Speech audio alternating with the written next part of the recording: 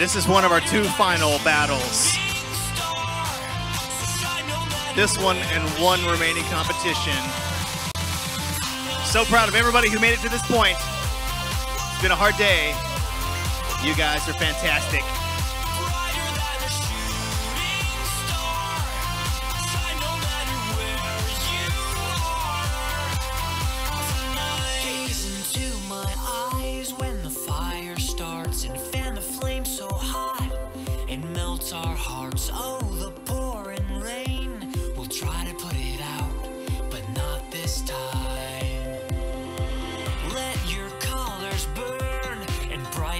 Burst into a million sparks that all disperse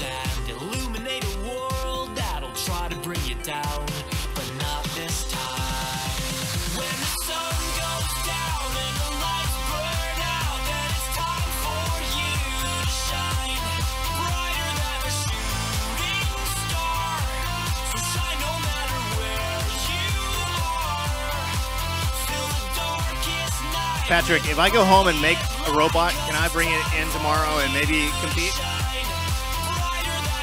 I got like an old microwave, some car parts, you know, just duct tape, zip ties, right? Can't, can't be that hard, right? Can't be that hard to make a robot.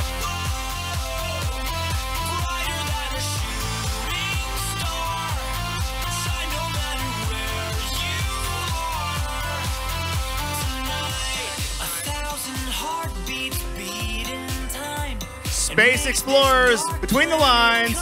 Three, two, one, go! All right, match number 50 out of 70.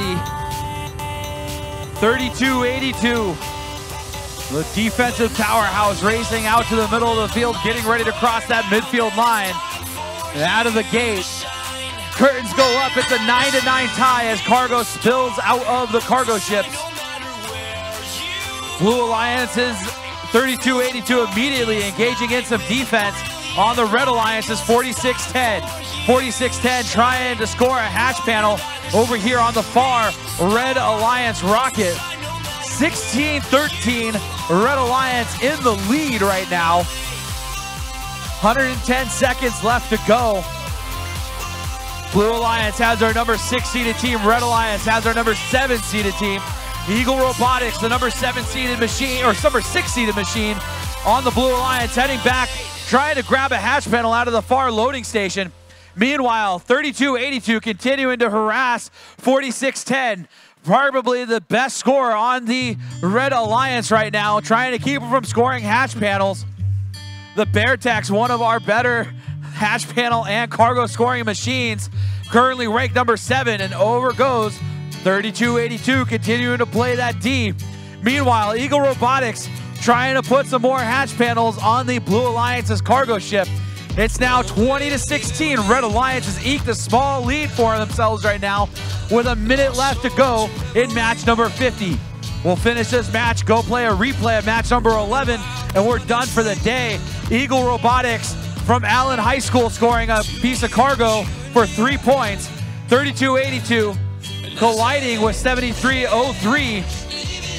Very, very close match here. Just four points separating these two alliances. 36 seconds left to go. Beartex grabbing onto some cargo and slips out of their grippers. 30 seconds left to go. Still a four-point lead for the Red Alliance. Eagle Robotics placing another hatch panel. It's now a two-point lead for the Red Alliance. Beartex trying to grow that lead, trying to slap a hatch panel on the Red Alliance's cargo ship. Meanwhile, up front, we have two hatch panels in possession of a single robot, it looks like, trying to slap whatever they can on that near Red Alliance rocket. Still a two-point lead for the Red Alliance. Five seconds left. Red Robots trying to get those level one climbs. Blue trying to do the same. And there is the buzzer on match number 50.